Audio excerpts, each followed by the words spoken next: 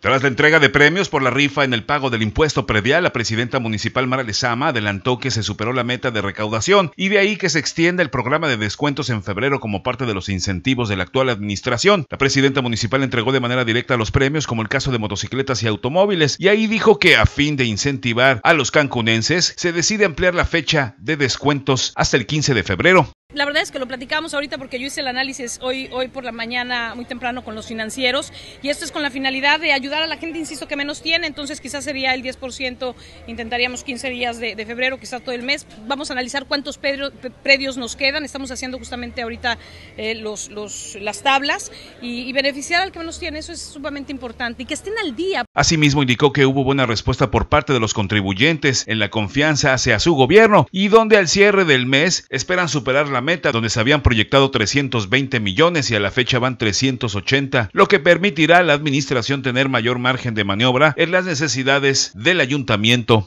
Tenemos un plan de trabajo, mucha obra, que era lo que, lo que habíamos dicho, y la verdad es que lo importante aquí es que cada centavo que recaudemos, que les digo con mucho gusto, sea recaudado como nunca, porque han timbrado las cajas, se acabó el momento en el que pagan por debajo de la mesa, entonces hay que hacer mucha obra, hay que hacer infraestructura, hay que hacer servicios, hay que recuperar parques, hay que seguir trabajando en el tema de pozos de absorción, que bueno, pues ya lo sabemos que esta ciudad se colapsa. Con imágenes de Eduardo Rodríguez, Juan Carlos Mendoza, Notivisión.